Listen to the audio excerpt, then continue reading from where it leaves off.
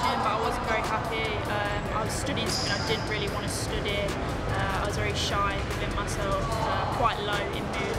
I went onto the Premier League Works programme. I was a bit unsure of what I was getting myself into, um, but it was a great programme. Um, it taught me a lot about myself, about where I wanted to be. It put me on my career path. They signposted me to do a BTEC level 3 in sport. I was doing some voluntary work as well like, throughout that, which they paid for my FA level 1 qualification um, and it really put me on my pathway.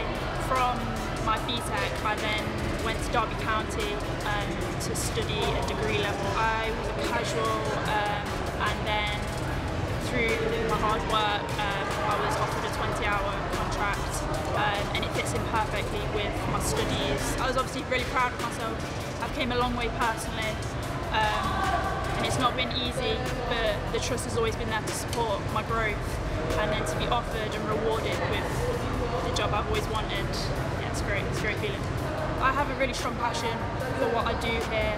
Um, I've taken the experiences from what I've learned how I've been guided. It's always nice to be able to relate to the young people and tell them, look, the opportunities are here. I was in your situation at one point, and it's just nice to be able to give back. Doing works, it provided me with those personal the communication skills, adapting myself in different situations. They also provided like academic resources, so I did a safeguarding qualification, um, I built my CV up, um, interview prep, all those things that you don't really learn within school.